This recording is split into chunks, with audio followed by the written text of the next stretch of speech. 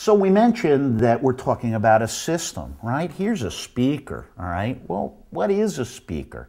So a speaker is really a motor system, right? It's a motor system, in this case, driven electrically. Interestingly, you don't have to make a speaker system electrically. You can make a system using flame to drive it, or even a mechanical system to produce sound. Remember that the first record player made by uh, Thomas Edison or Emil Berliner um, used a mechanical horn. So it was simply a piece of straw or reed that was going into grooves on the wax, and the vibrating piece of this needle, as it was often caused, just went into a horn like a trumpet, and that's how it worked. It was a purely mechanical system. But nowadays we make electrical systems and we use magnets and coils around the magnet to create an electric motor. One of the important things for people to learn about, if you want to understand this stuff, is the right hand law of magnetism, and that is that wherever there's an electrical current, at right angles to it, there's a magnetic field generated. So when we send electricity through the coil, it generates a magnetic field. If we put a magnet that's within that magnetic field, what happens? Well, we know that north and south magnets attract each other, but north and north magnets push each other away. So as the alternating current from our AC systems in the United States works back and forth, the magnet and the coil structure is attached to the actual cone of the speaker. And as the magnetism reverses polarity, it goes in and out and in and out. And that's exactly how the speaker makes sound. But what about that speaker? Well, there's a lot of factors in it. What's the material made of? Is it a cone? Is it a dome? Is it made of paper? Is it made of carbon fiber? Is it made of Kevlar? Is it made of plastic? Hey, you suddenly realize you've read all about those claims. You've heard about neodymium magnets. What are those? Are they better or worse? The truth of it is is it all just depends. It's up to the designer of the loudspeaker system. And the materials we use, the physical weight of the speaker driver, will determine how easy or hard it is to push it in or out. And how well and how rigid is it will determine how well it reproduces at different frequencies.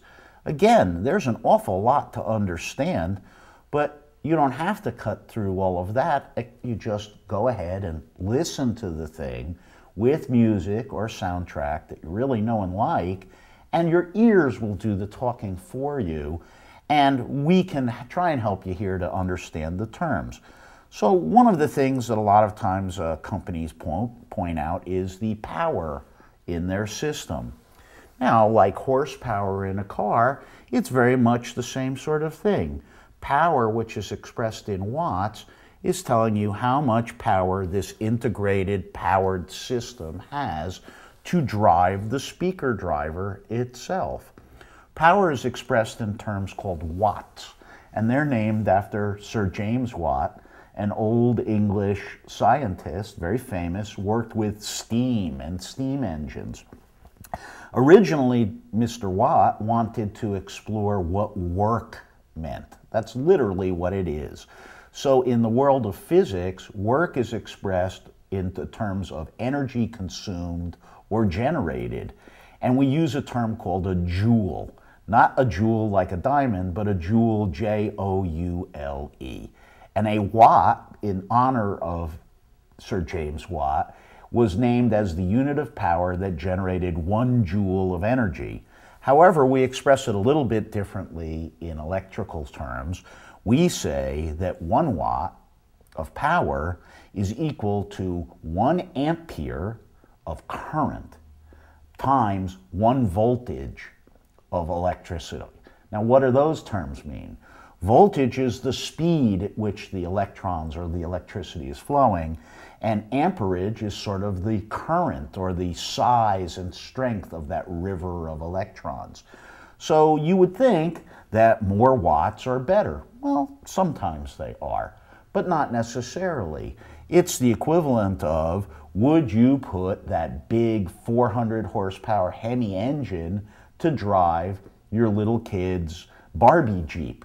Probably not. It would be way too much, too heavy. It would probably strip the gears, and the excess power would be wasted. You'd spend a lot of money driving the engine for very little utility. So we go back to the fact that these things are systems. The amount of power for them is determined by the characteristic of the speaker driver itself and how loud we want to get it. So there is no one right answer for how much power there is.